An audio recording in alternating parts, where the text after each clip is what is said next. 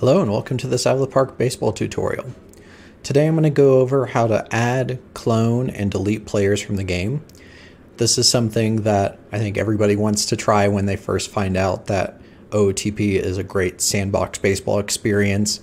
What would happen if I edited my friend into the game and gave him a 100 mile an hour fastball, or if I deleted my most hated player on my team's rival? How well would they handle it? You can do all those things and it doesn't take a lot of time or effort. Um, you just got to know where to look. So, to help with that, the first place to go is under your manager. Go to your manager options.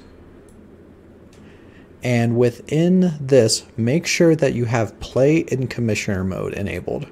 If you don't have this box checked, you won't be able to edit more than the most basic information about a player and you won't be able to add anyone. So this is an absolute necessity. This won't be possible if you've started a game in challenge mode. You'll have to start a new save in order to enable that. But once you have this enabled, that's just about the hardest part. You can then go to the transaction screen of your league and if you want to, for example, clone a player, you can right click and select clone right there. And you'll see that magically there are two of Stetson Allie. And you could you know, apply this across the board. If you want an entire rotation of Shohei Ohtani, you could make that happen by using that feature.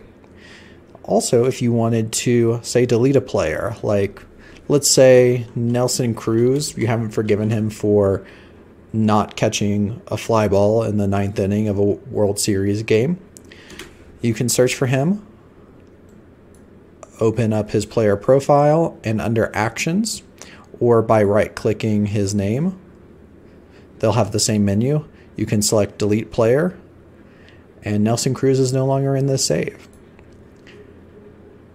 And finally, if you want to go and add yourself or add a friend, you can go back to the players section of the transaction screen.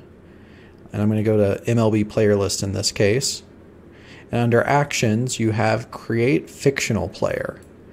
And so with this, you could set up a catcher who is very young.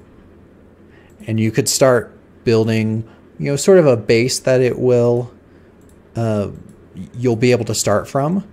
And once you do this, we'll do not eligible, create this. And I just created a random player in this case. But if I go in and search for Juan Nadal, great nickname already, and then go into the editor, I can then change anything I want. If I want to give him max potential out of 250, I can. And just make him the greatest hitter of all time if he develops.